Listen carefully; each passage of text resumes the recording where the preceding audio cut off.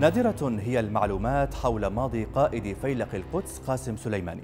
المتوفر فقط هو سيل من مشاهد لزيارات تفقدية للسردار إلى مناطق عراقية وسورية وزيارات مساندة للقوات المقاتلة على الأرض. جعلت منه رجلا ذا وهرة وعقلا مدبرا لكل مخططات إيران التخريبية لتدخلها في المنطقة. صور أريد منها طمس الوقائع الحقيقية لسليماني وربما طمس نقاط سوداء في تاريخه.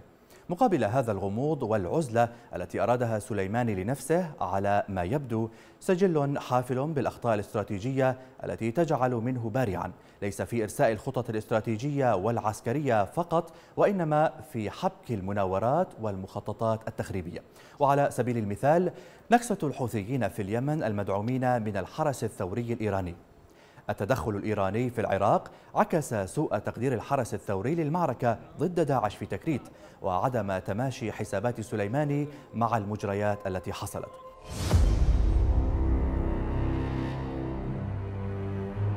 موفدا القادة العسكريين نحو حتفهم كما هو حال حسن شاطري أحد القادة من مجموعة النخبة القوية في الحرس الثوري المسمى جيش القدس يخلو تاريخ قاسم سليماني من الإنجازات العسكرية الباهرة يستعيض عنها بالرصيد الذي يملكه عند خامنئي والذي وحده أتاح لهذا التسلق بسرعة في درجة تولي المسؤوليات والتحكم بالقرار الإيراني في العبث بأمن الدول المجاورة.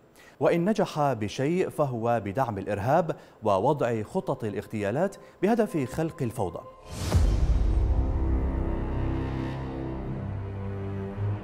ليس هناك شيء في سيرة سليماني ما يرشحه لأن يكون مميزا لدى المرشد لكن يكفي أن نتابع بعض التصريحات الإيرانية ليتضح حجم الفضائح التي لاحقت سليماني والذي نجح إلى حد ما بطمسها بافتعاله الأزمات السياسية الخارجية والداخلية وآخرها أزمة ظريف وهو ما جعله القائد المحبب لدى قيادته.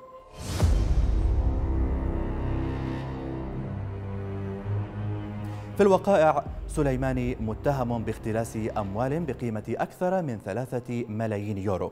قدمها فيلق القدس لقادة إفريقيين. سليماني متورط بالسيطرة التامة على طيران ماهان من خلال تعيين أقاربه في مناصب حساسة لتأمين استمرارية تهريب الذخائر إلى إيران. سليماني قادر على فعل أي شيء للإطاحة بأي منافس له حتى في الحرس الثوري. ولعل الخلافات مع محمد علي جعفري قائد الحرس الثوري هي انعكاس للدور الحقيقي الذي يطمح أن يؤديه سليماني في إيران.